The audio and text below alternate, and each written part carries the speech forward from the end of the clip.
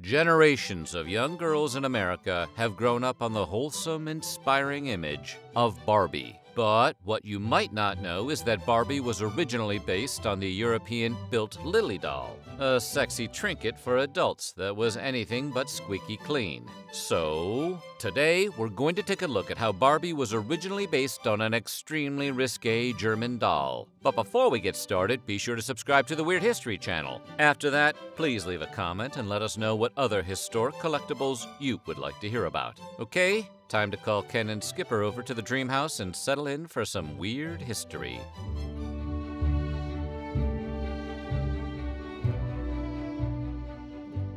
Back in 1952, a German tabloid called the Bild Zeitung had a blank spot that the editors needed to fill. They called on cartoonist Reinhard Beuthien to come up with something. And since quizzes about which Harry Potter character you are hadn't been invented yet, that something turned out to be a comic strip starring a character named Lilli. Lilli was a saucy secretary who moonlighted as an escort. Described as a post war, gold digging, buxom broad who got by in life seducing wealthy male suitors, Lilli received all sorts of expensive gifts from her sugar daddies, which she loved to show off in the cartoons. The gifts, not the uh, sugar daddies. She wasn't exactly the kind of character you'd imagine becoming the most recognizable children's doll in history. Despite what you might assume, Lilli was portrayed as witty, and her comic strip conversations were filled with zippy one liners and clever comebacks. For example, while walking down the street in a bikini, she was stopped by a police officer who informed her that it was illegal to wear a two piece swimsuit. She responded, Oh, and in your opinion, which part should I take off? In another issue, she covers her naked body with a newspaper and tells a friend, We had a fight, and he took back all the presents he gave me. And that's, that's kind of funny. Like two and a half men funny. Her shtick was apparently the exact balm post war Germany needed. Because after a year in the paper, Lilli became so popular that the decision was made to market her as a three dimensional doll. Originally, the Bild Lilli dolls, as they were known, were never made for children to play with. They were explicitly considered adult novelties and targeted at men who purchased them from places like bars, tobacco shops, and adult toy stores. According to a brief history of the doll in Time magazine, men got Lilli dolls as gag gifts at bachelor parties, put them on their car dashboard, dangled them from the rearview mirror, or gave them to girlfriends as a suggestive keepsake. You better know the girl you're giving that to, because that night is either going to be very fun or very, very not fun. The design of the doll closely mirrored Lilli's appearance in the comic strip, which included heavy makeup and an extra curvy figure. The doll was targeted for grown men rather than young girls, but a woman named Ruth Handler saw its potential.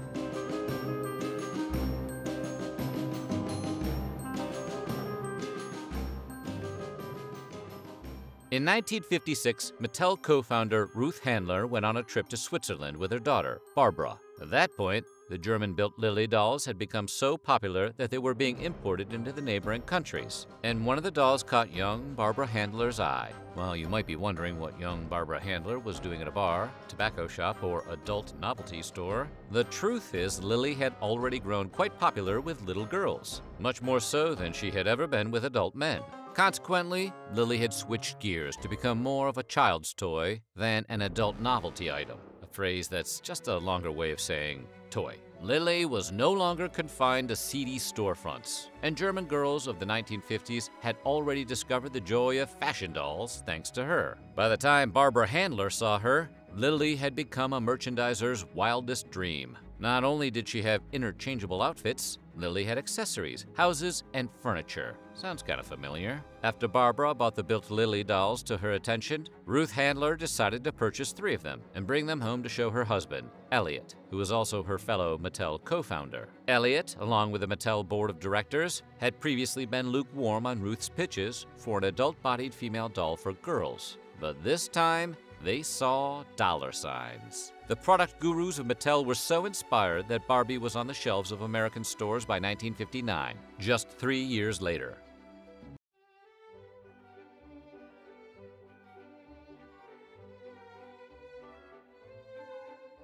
After purchasing her first three Lilli dolls, Handler redesigned them with help from a man named Jack Ryan, who was a local inventor and not a dashing CIA intelligence analyst. Despite their work retooling the character into a distinct new creation, Lilli and the original Barbie still have a lot in common, at least as far as their physical appearances go. Their body shapes are very similar, with a tiny waist and a large, uh, investment portfolio. Both dolls also originally had eyes that glanced to the side, though Barbie's would be changed to look forward in 1971. They both also have blonde hair, but Lilli wears significantly more makeup than Barbie does, presumably because she was originally marketed to adults as opposed to children. Lilli also has suggestively arched eyebrows, which the more wholesome Barbie does not. The other main difference is their feet. Barbie has removable shoes, whereas Lilli's feet were molded into the shape of stilettos and painted black. Kudos to Handler and Ryan for realizing how much money there was to be made in selling tiny, extremely losable doll shoes.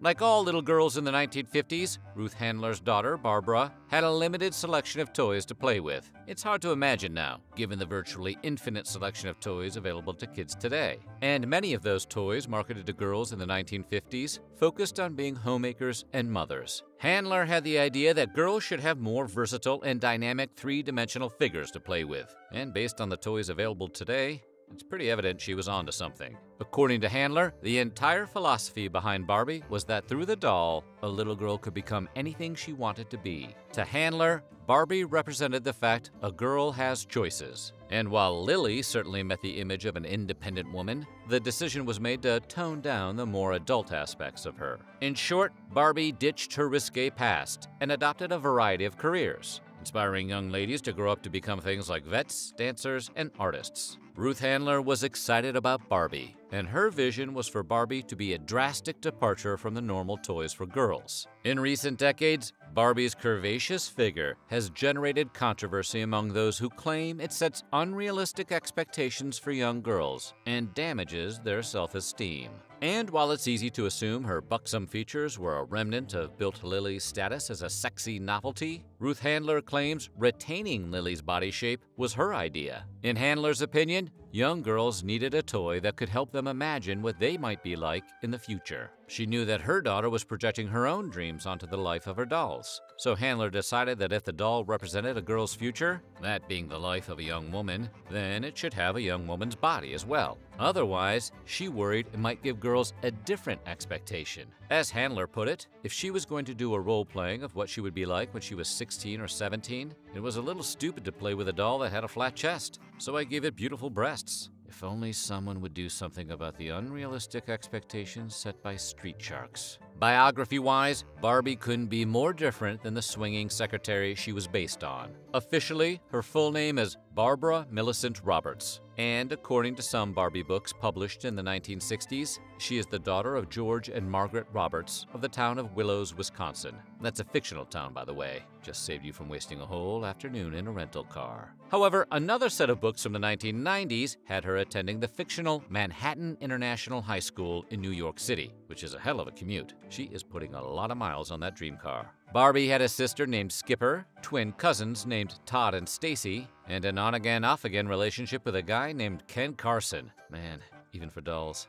Relationships are complicated. She also had a large, diverse circle of friends, including Teresa, Midge, Christy, and Steven. And she owns over 40 canonical pets, including a panda and a zebra. Barbie's menagerie is more impressive than Tony Montana's. She has a pilot's license and a fleet of automobiles. She's worked as a flight attendant, doctor, NASCAR driver, astronaut, and just about any other profession you can imagine. Barbie now comes in over 22 skin tones. 94 hair colors, 13 eye colors, and 5 body types. Altogether, it means every girl can now see themselves in Barbie, no matter what they look like, what they want to grow up to be, or which exotic animals they want to smuggle.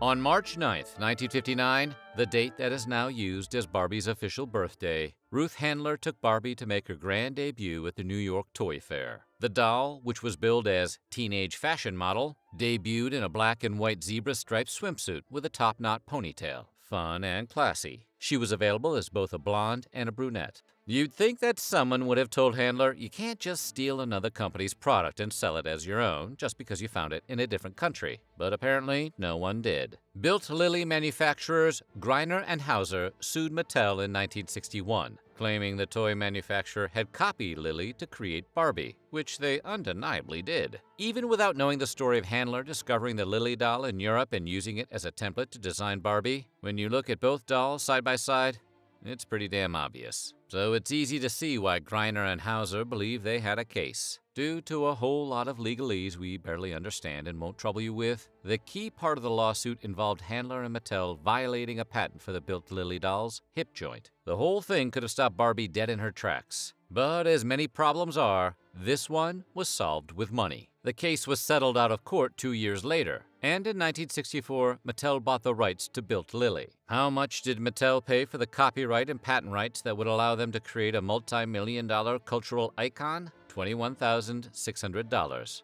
Uh, about the price of a Mini Cooper. Meanwhile, Barbie grossed around $1 billion in sales per year over the past decade alone. If you're very quiet and listen closely, you can hear somewhere in the world a room of Bild editors cursing in German. And with that purchase, Mattel let Lilli and her sordid history fade into the past, hoping that her connection to Barbie would be forgotten.